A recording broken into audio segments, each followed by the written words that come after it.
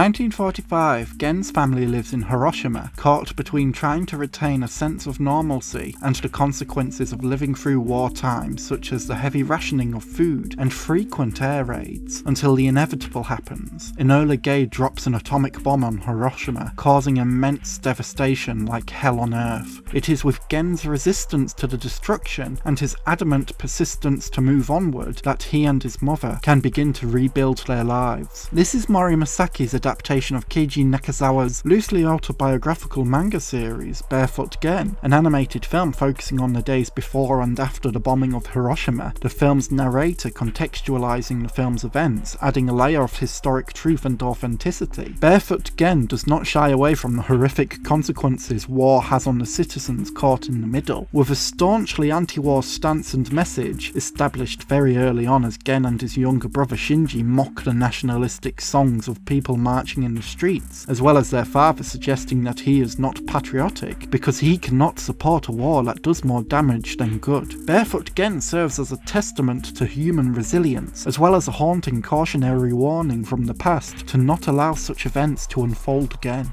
Gen, a young boy, is taught by his father, while tilling the fields of wheat, that wheat is a strong and persistent grain, surviving the hardships of winter and ready for harvest during the summer. Gen's father teaches him this message of resilience, which Gen learns from, often acting selflessly and responsibly, putting others' needs before his own. This is apparent early on when Gen fetches the doctor for his pregnant mother, who was suffering from malnutrition and fatigue due to a lack of food. This sense of selfless action, as well as the kindness of neighbours, is also reflected in other characters, such as when a friendly neighbour offers Gen's family rice, giving it to his older sister Aiko. The narrator, as well as Gen's father, establish a lack of trust in the Japanese leaders fighting a losing war, and suggests that war provides little protection for the general population. Barefoot Gen therefore suggests that the real survival doesn't come from life ruining war, but from the human resilience and kindness of those around us, giving benefit to others before taking benefit for ourselves. This is further reinforced after the significant turning point within the film, the bombing of Hiroshima, a heavily distressing sequence as people burn to a crisp, eyes melt and pop,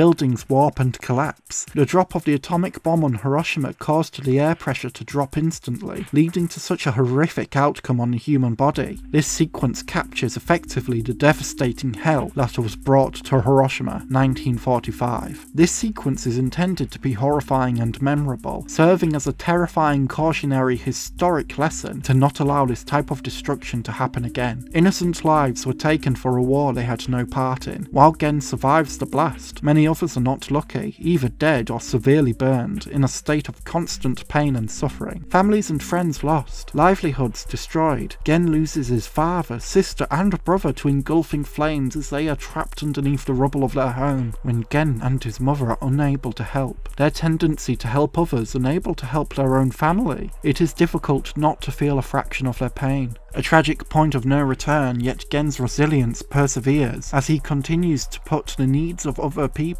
before his own. He gathers supplies necessary for his mother to give birth, helping to deliver the birth of his little sister. He and his mother adopt a young boy, Ryuta, all alone, in his search for food. Gen and Ryuta are hired to look after a family's uncle affected by radiation sickness, so they can afford to buy milk for their little sister. Therefore, reinforced throughout the film, human survival comes down to other people people helping other people, the kindness of neighbours, and the resilience of human spirit. Gen's human spirit is not easily dashed, reinforced whenever he is harassed by the cynicism of another family's uncle, the cold nature of the man likely an effect of suffering with isolation and prejudice. Why show kindness when others fail to reciprocate it? His sister-in-law expresses a deep disdain for his continued existence struggling with radiation sickness, and his nieces observe him from a distance, like a sideshow for their own titillation. Reinforcing this, Erika Hayasaki discusses the prejudice that survivors of the atomic bomb experienced, writing that the survivors of the atomic bomb, known as hibakusha, often found themselves shunned in Japanese society, viewed as contagious or abnormal. Some hid their hibakusha status from their own family members or pledged to never speak of the bomb for fear of discrimination or alienation. This uncle within the care of Gen and Ryuta, suffering from the prejudice of his family, treated less than human for having experienced and survived an atrocity, has therefore become cynical and critical of the world,